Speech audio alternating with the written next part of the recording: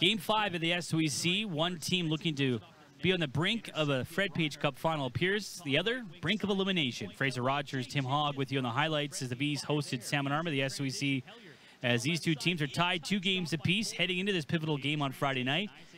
Physical game early on. Brock Reinhardt lowering the boom there on Isaac Lambert on a heavy hit early in the first period. Will Ingman, the starter who's been excellent in the playoffs. Nice stop on Adam Boder. At the other end, Eli Pulver just as good as he always been in this series. Big stop there on Anselmo Rego. Vees had a lot of good looks in this first period. 18 shots on net, which was one off their playoff high for the first period. That was set back in round one.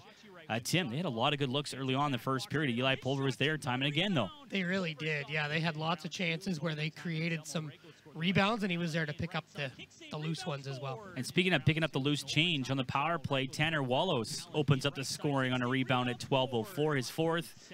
Allen the assist along with Ryan Philbrick on that rebound to make it 1-0 Salmon Arm in the first period. Vees again throwing a lot of pucks down low. Connor McPherson, one of several chances for him on this night, stopped on the doorstep on a Vees power play late in the first period. Yeah, he was our energy player of the game in the building tonight. He was very, very good for the Vees despite not being able to score. Had lots of good chances, uh, particularly in the first two periods for Connor McPherson. Well, the Vees wasted little time in the second to tie the game right off the opening faceoff on a power play that carried over.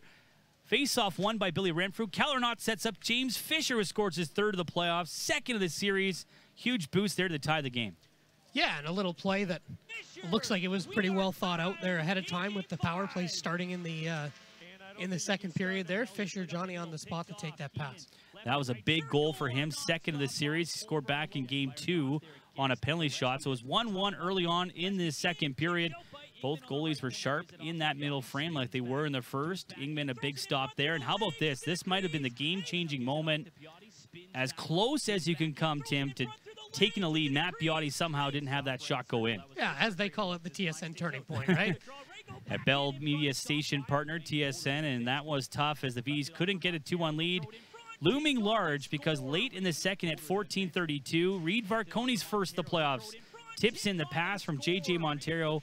Late 2-1 lead for Salmon Arm in the second period. Just really good eyes by J.J. Montero there to see Varconi coming down the left wing side, able to feed that pass to him. And again, there's Montero doing the dishing there to have another chance for Salmon Arm. Yeah, Jonah Agater late in that second almost made it 3-1. Excellent shoulder stop by Will Ingman to keep that puck out. The Vees also had looks in the third period down a goal on the power play to start the third.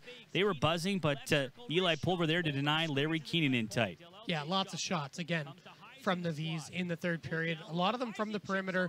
They did create a few secondary opportunities, and unfortunately, could not beat Eli Pulver. That was probably the best chance in the period. Yeah, Max Heisey unfortunately couldn't get it over the pad to tie the game on a great feed from Renfrew in that one-timer.